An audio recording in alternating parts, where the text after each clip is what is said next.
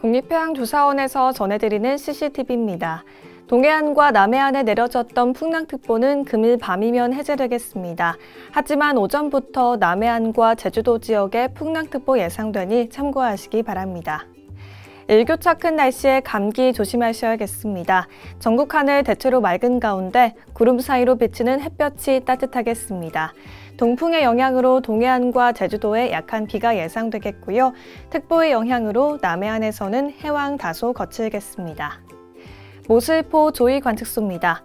현재 기준 비가 내리고 있지는 않지만 내일 오후까지는 약한 비가 내릴 가능성이 있겠습니다. 해왕은 해상 활동에 큰 무리 없겠습니다. 포항 해무 CCTV입니다. 물결이 빠르게 밀려오고 있습니다. 파고 1.5m 예상되니 조심하셔야겠습니다. 바람도 초속 10m로 거친 편이 되겠습니다. 목포 스마트 안전센터의 모습입니다. 날이 흐리고 안개가 자욱한 모습인데요. 시야 확보에 신경 써주셔야겠습니다. 파고와 바람은 적당하겠습니다. 조석 정보입니다. 인천 보시면 오후 2시경 154cm로 저조 나타났다가 오후 8시 20분경 765cm로 고조 보이겠습니다. 조차는 610cm가량 나겠습니다.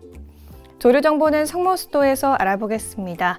오전 9시 이후 두 번의 최강 유속 발생하겠습니다. 발생 시각은 오후 12시 50분경과 오후 7시 20분경이 되겠고요. 세기는 2.1노트와 2.6노트, 유향은 서남서쪽과 동북동쪽으로 반대가 되겠습니다. 남해안 제주 성산포항 부근에 사설 항로 표지가 신설됐습니다.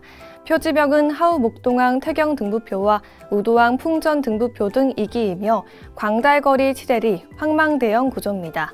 2024년 9월 26일부터 공사구역 표시 등의 목적으로 설치됐습니다. 지금까지 CCTV였습니다.